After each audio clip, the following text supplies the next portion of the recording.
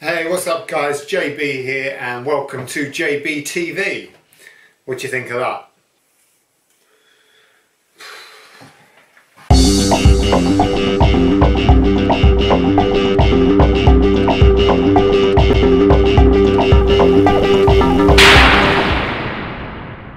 So in this short video, all we're going to be doing is using this round over router bit in the router to put a radius on these shelves. So I've got a couple of pieces of southern yellow pine here and I'm going to put these up in the kitchen. I need a little bit of extra storage space. I want to put these up in the kitchen so rather than just have this square edge what I'm going to do is put a bit of a profile on it. Well what do you think of the apron? I found it in an old toolbox, but I thought, you know what, it's not bad, is it? It's going to keep the dust off my top, so uh, I'm going with it. Anyway, here's the router bit. So this is a 12.7 millimeter radius, half inch shank router bit. And this particular brand of router bit is by Trend. Now I'll put a link in the description box down below. I think this cost about 30 pounds or something and I bought this when I was doing some window sills. So I'm going to use this on my kitchen shelves. Now this router bit does come with two bearings and as you can see the bearing that is on here now is kind of flush with the bottom part of the blade here which means that if this is your board it will only round the bottom section of your board. So if I run it round my board this way it will keep this section flat and then it will cut into the board up here. Now I can either do it so it has a bit of a lip here or I could do it so it just rounds it like this. So either straight round or round with a bit of a step here. Now if I was to change this bearing and there is a smaller one inside the packet here what you could then do is actually have a step then around. So we could actually make the profile of these shelves look a little something like this. So we could either have it like this or we could have it something like this. So we've actually got one, two, three, four options here as to how we actually want this end to be. Now I'm thinking this one here. I'm wondering whether that's a bit too much detail. I don't know, it might look alright, but I quite like this one. And the reason I like this one is because it actually looks quite good when you turn it upside down. So this would be the top surface of the panel and then it kind of rounds underneath and then you've got a little step on it. So I think that's the profile there that I'm going to go for. Now we'll just move the router out the way for a moment. And what we want to do is get our boards fixed down onto the workbench. Now, because of the size of them and the fact that I'm going to be machining three edges, it doesn't leave me anywhere to fix it to my bench other than screwing it down and I'm definitely not doing that. So what I have done, and I've just put, whoops, just put a big hole in the ceiling. So what I have done here, as you can see, I've made two big holes in my bench which I will use to put a clamp through and I can clamp this back edge and that will allow me to go all the way round the shelf without having to stop and move it and what have you. So let's get this clamped down and ready to rock and roll.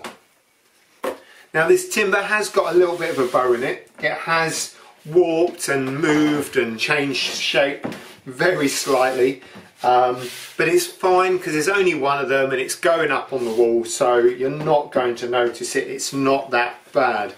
What I just need to do is decide which face I want as the upper and lower face.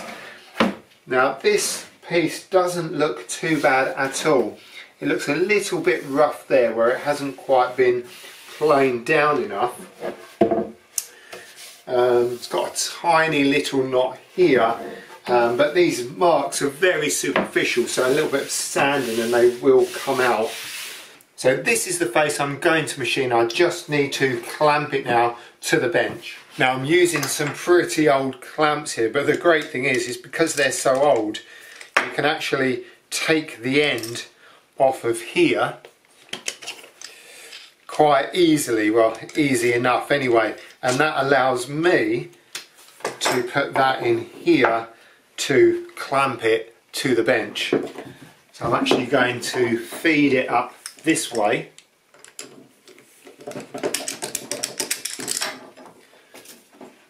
There we go, I'll just do that up lightly for now. Want to protect this so I'll just put a, a bit of timber under here.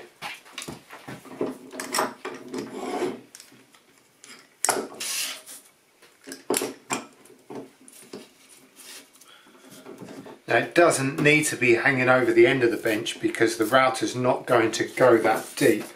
So I can just leave it kind of in this position. It's hanging over very slightly. That's absolutely fine. So we'll just go in with the next one here. That one went on a bit easier. That's not going anywhere. Perfect. So if you want to clamp a piece of timber like this to a bench, drill some holes in it and get yourself some old clamps. So here's my router. It's an Erbauer router. Uh, not a bad brand at all. It's kind of a mid-range product in my opinion. It's not massively expensive but it does feel like good quality. It's got a really nice feel to it. Now you can check the video out of me looking at this and all the different features. I'm not going to be doing that right now. This is just about machining these shelves. Now I've got the half inch collet in here. If I just take that off so you can see. There we go. So in the nut is the collet. So that's the collet there and obviously the router bit goes into there. Now on this router bit you can actually see a marking just about here which indicates the minimum distance that you should insert the shank into the collet for safety reasons obviously. So what I will do here is just wind the, I'll just wind the nut with the collet onto the router just a little bit and then put the router bit in and I'll probably put it around that mark. I don't want to go too deep because it might actually limit the depth that I can go down onto this board. That's the only thing you might have to play around with how deep you do actually put the uh, router bit. So just holding that in position just so it doesn't slip as we tighten up the nut and the collet and I'm just double checking the depth that I've put that router bit. There we go.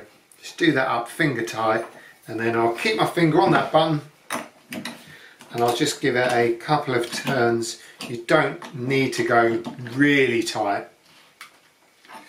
Like really yank it because it is self-tightening as it spins. There we go, that's perfect. The other thing as well, this um, Southern Yellow Pine is quite a, it is a softwood, but it's actually quite different to your standard pine because it's a lot denser. It's still soft, but it's denser. And in my opinion, it means it doesn't splinter as much. So going around the corners is quite nice. Rule number one, make sure you adjust it without it plugged in. Rule number two, when you're using a router bit, make sure that you're working on the right hand side of your work as you go forward. Otherwise you're going to be back cutting and it's more likely that the router will catch and fly out of your hands, which is not a good thing. So this spins clockwise, so it's spinning round this way. So what I will do is start here and I will come round that way. So it's a rather big circle, I know, but if the cutter is spinning this way, it's constantly cutting into your work. Right, let's get the depth sorted out. So we've already established the way in which I want the profile to be on my shelf.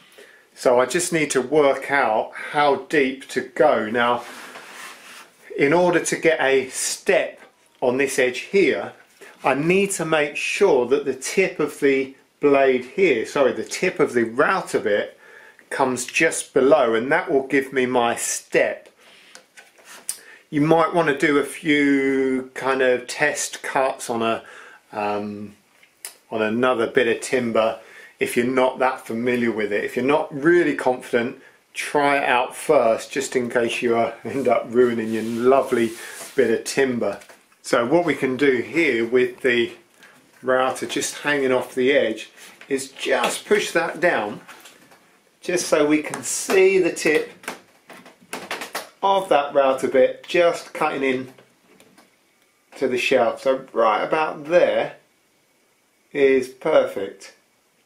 Now what I've just realised is the depth that I want the router to be does actually go a little bit lower than the shelf or it's very very close so what I need to do is just lift this up very slightly so it will clear the bench. Right, there we go. So we've got a couple of bits of timber underneath. We've lifted it up. We've clamped it back down. Let's try again.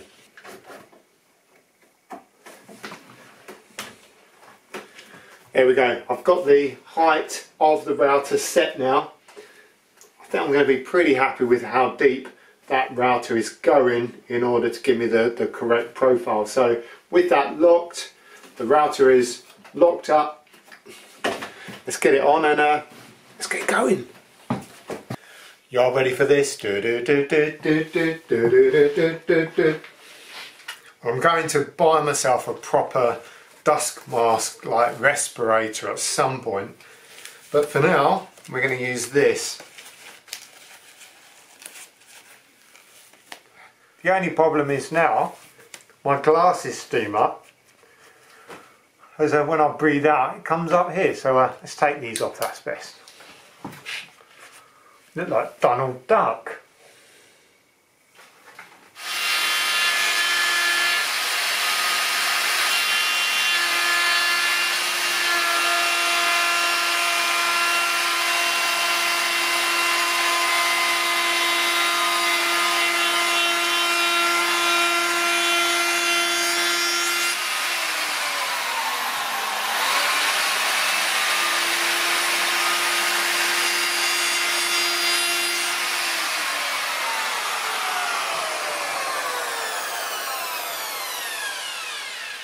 we go, that looks quite nice.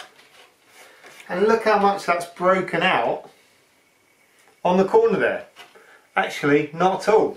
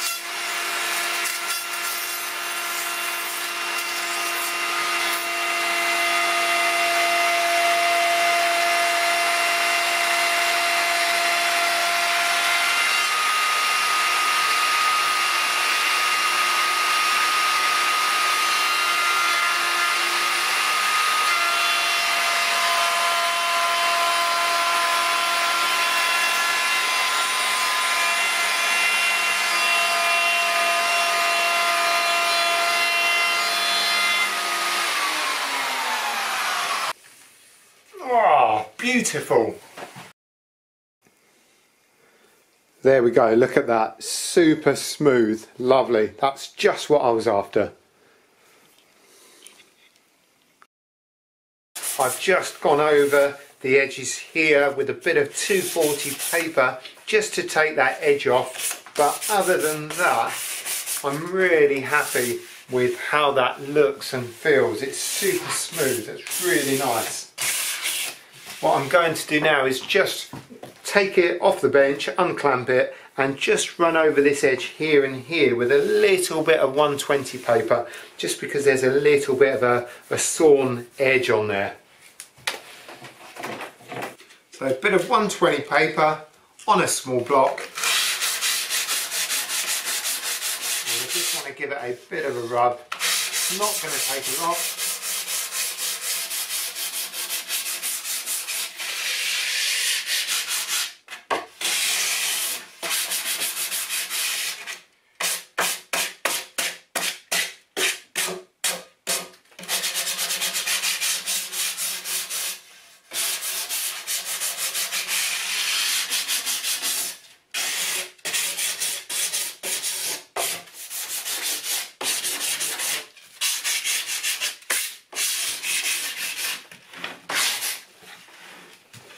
So we've just run over this top edge with the orbital sander and I think I've got about a, a hundred grit paper on there so it should be about right.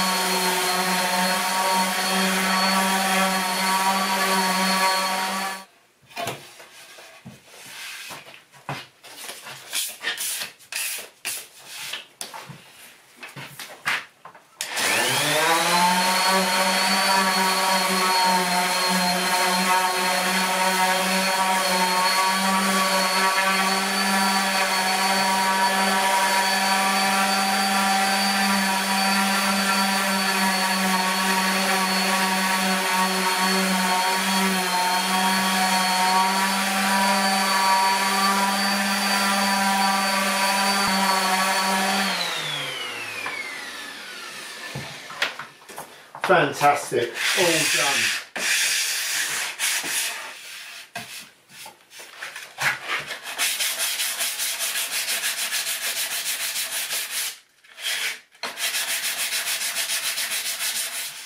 There we go, one shelf done. Well, I've got the other one to do now, but there you go. That's how it's going to sit, just like that. So we've got a completely flat top here, but if we turn it, it's actually got this lovely profile which kind of curves underneath. So when it's sitting quite high, it'll give a nice feature to the shelf. Oh yeah, I'm loving that. Nice. Fantastic. Well, that's that one finished.